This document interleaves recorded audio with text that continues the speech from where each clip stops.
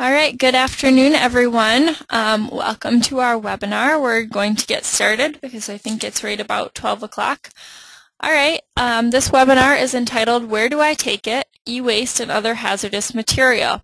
It is the ninth installment in our Environmental Matters webinar series. The Environmental Matters webinar series began in February and will run all the way through throughout 2013. Um, we'll have about two webinars per month. If you would like to watch any of the previous webinars, they're all archived on our website. You can see them at www.ci.superior.wi.us slash webinar. Um, and for every live webinar you attend between now and the end of November 2013, you will be registered to win a compost bin from the City of Superior. So for each one you attend, you'll get one entry into the drawing. Um, all right, so let's get started.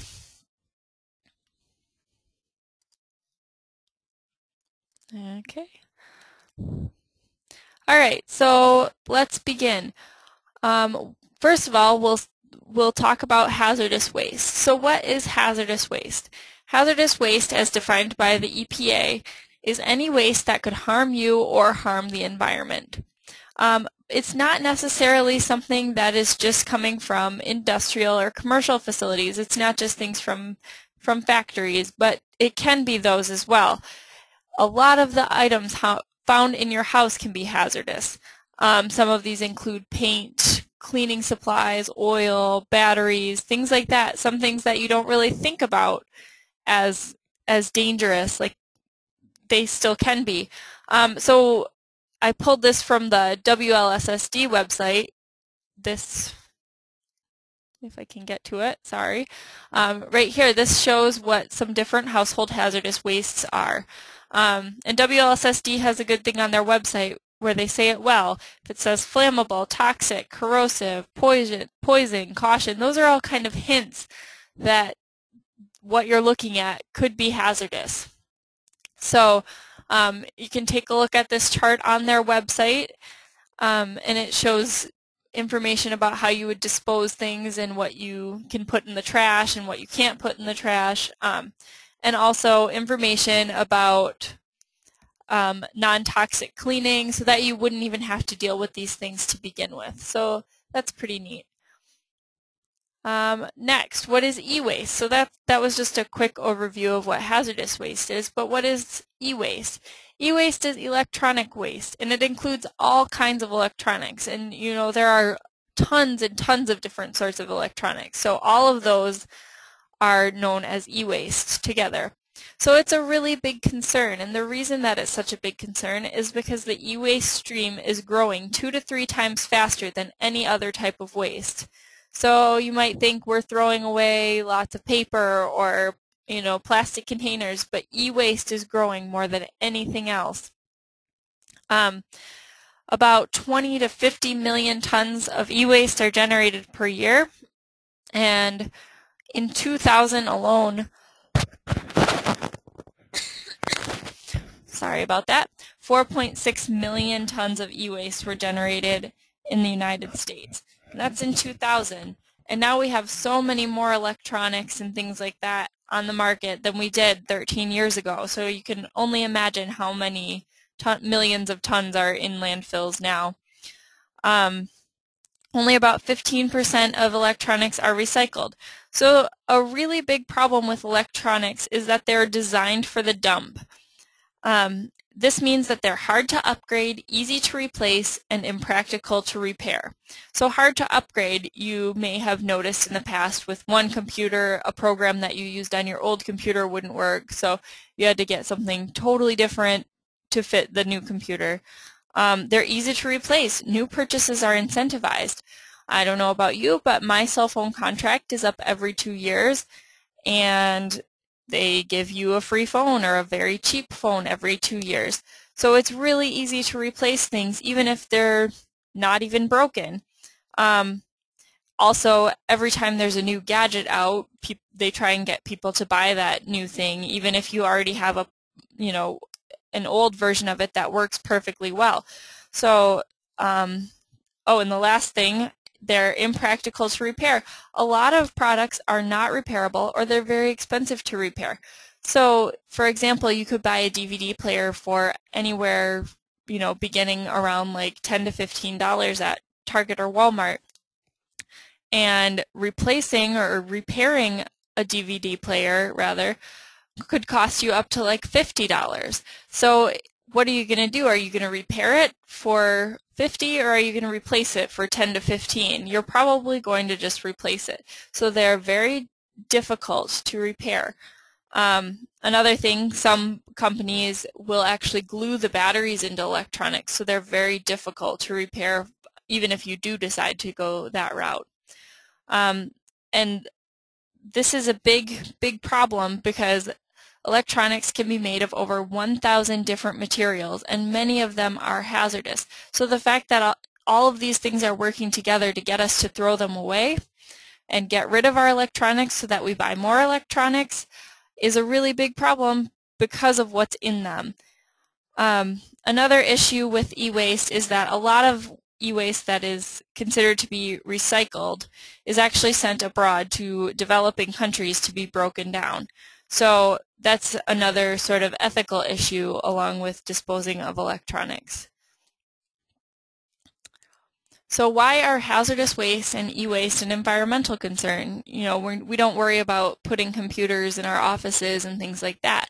But both e-waste and hazardous waste have chemicals or substances that are harmful to human health or the environment inside of them. So hazardous waste is a little more obvious if you have, you know, a battery and it's got battery acid in it. You know that's harmful.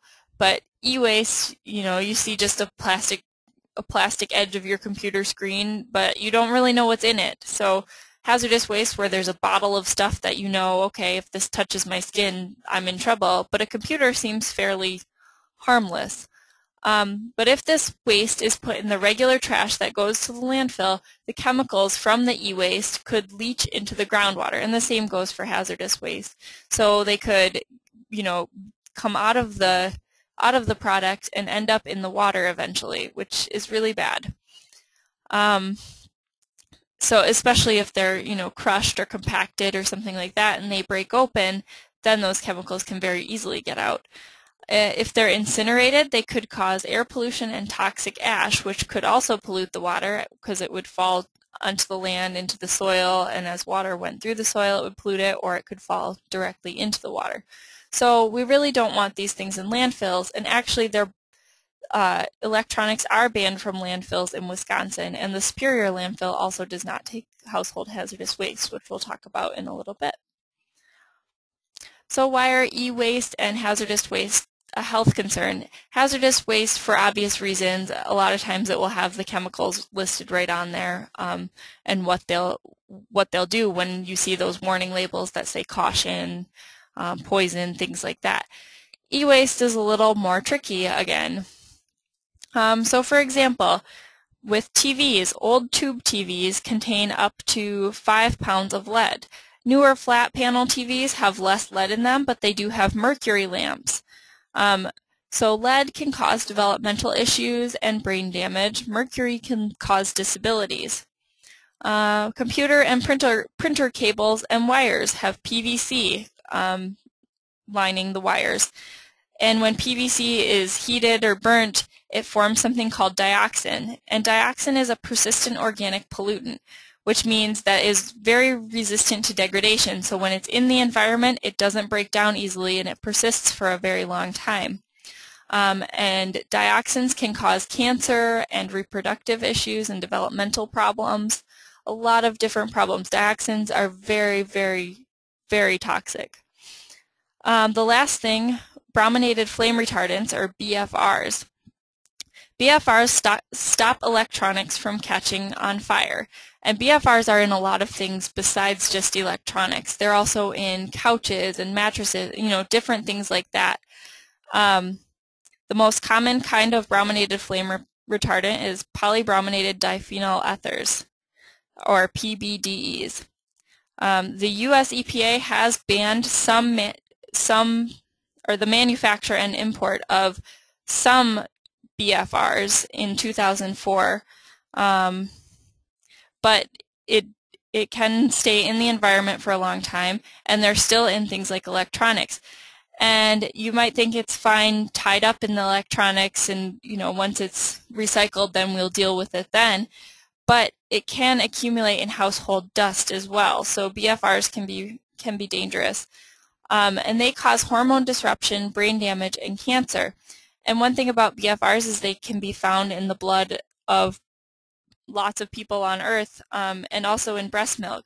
The average United States level in breast milk of BFRs is 75 times what it is in European breast milk. So um, the European Union actually has regulated them more strongly in the past than the US EPA, so that's why. So all of these things are kind of scary and dangerous, um, which is why we need to be really careful with what we do with our e-waste and our hazardous waste. So, how should we dispose of them? As I said, the Superior landfill does not accept hazardous waste. Uh, Wisconsin also ba banned e-waste from landfills in 2010. Um, and they also had a law passed that makes electronics man manufacturers sponsor take-back programs so that more electronics are recycled. And since that ban, nearly 100 million pounds of e-waste have been recycled. Um, in July 2011 to June 2012 alone, 6.8 pounds of electronics per person were recycled. So that's pretty great. Um, it'd be better if we didn't have as many going into landfills and if they would last longer and you know, be easier to repair, but it's good to have them recycled anyway. Um, and Superior residents can also take hazardous waste to WLSSD. And one more thing about electronics, um, there are certain charities that will take working devices. Some stores will also take them back for a fee. For example, I believe Best Buy will take back electronics. Um, certain manufacturers will even take back the electronics. So Apple is a good example of this. If you send in your old electronics to Apple, they will take them back and they'll even give you a gift card for any remaining value um, that in your electronics. So that's pretty cool. Uh, the Superior Wastewater Treatment Plant, where we here at ESD are based, we take mercury-containing devices. Um, we also have a call to recycle box, and I'll show you quick what a call to recycle box is if I can open this up. So this website here just shows you the call to recycle locations in Superior and for some reason right now it's zoomed pretty far out so you can't really see it. So that just shows the different locations in Superior where you can take the things for call to recycle and they accept rechargeable batteries and I believe sometimes cell phones. So you can look at this map and see what places do accept. So we'll go back to this. Um, so Superior residents, as I said, can take hazardous waste to WLSSD. So when you do that, um, WLSSD has something called the Product Reuse Center. So any safe, usable products that are considered household hazardous waste that you take to WLSSD, they will have them available for free for other people to use. So if you have some paint that you used on a product or project and you don't need it anymore, you can take it to WLSSD and they will make it available to someone else. So if they need that same color paint for something, they can take it. Um, and you can do the same. And actually they even have a contest for a gift card if you take a picture and show how you're using the thing that you got from the Household Hazardous Waste um, Product Reuse Center. So it's pretty cool. There are some incentives to bring things there and um, you can maybe find something else that you need while you're there for free. So it's a good incentive to, to take that stuff and dispose of it properly. So where can you go in Superior for e-waste? Like I said before, um, sometimes manufacturers and stores will take them back, but there are also some other businesses in Superior that will take those things. So AA Roll-Off, Belcom Appliance, TLK Industries, the Superior landfill will, but you can't just you know, put it in your regular trash. It has to be done separately, and you can see their website for more information, and that's just off of the main city website. Uh, waste management and also Afterlife Electronics Graveyard. So where do you dispose of other items? So down here on this picture that I'll show you up closer in a, in a bit, you will be able to see our disposal guide for the City of Superior. You can find it at our the city website slash disposal guide or at our stormwater blog. Or you could give us a call at 715-394-0392 extension 1018 or 1041 and we can talk to you about these things as well and maybe give you a copy of the disposal guide if you'd like it. So here's the disposal guide and we just have um, different categories of things and where you can take them. So you can see, for example, um, household batteries, AA Roll-Off, Belcom Appliance, TLK Industries, and WLSSD. And although it's not in Superior, we did include WLSSD because they do take so many things, including household hazardous waste. So um, thermometers, you could bring those to WLSSD or here to Environmental Services Division at the wastewater treatment plant. Um, so this is just kind of a handy guide and like I said you can check our website or our blog to see this. So the last thing I want to talk about before we go into some questions, if anyone has any, is the Douglas County Clean Sweep. This is a yearly event that's held every June. Um, this year it's June 29th from 10 a.m. to 2 p.m. at the fairgrounds in Superior and they will be accepting medication, appliances, e-waste, and household hazardous waste. And some fees may apply. And you can see Douglas County's website or contact Mary Clune over at Douglas County Recycling for more information. So it doesn't look like we have any questions. So um, we will talk about our upcoming webinars. So thank you so much for attending. Our upcoming webinars include um, we had on June 25th Most Wanted Aquatic Invasive Species with Carrie Sanda, the Douglas County AIS coordinator. Unfortunately, that date does not work for Carrie anymore, so we will be rescheduling that one. On July 9th, we have a Lake Superior Day webinar with Lissa Radke. We will be talking about the activities that are happening in the area for Lake Superior Day, which is, I believe, July 20th or 21st. Um, it's like the third Sunday in July. Um, and so she'll be talking about the Superior Binational Forum and, you know, what Lake Superior Day is, and then we'll cover what's happening here for it. Uh, July 23rd, Household Hints on Saving Water. So we have a few listed here, but there will always be more webinars throughout 2013. As I said, we're trying to do two webinars per month, and you can view any archived webinars on our website. Um, and for every webinar you attend, including today's, you will be registered in a drawing to win a compost bin.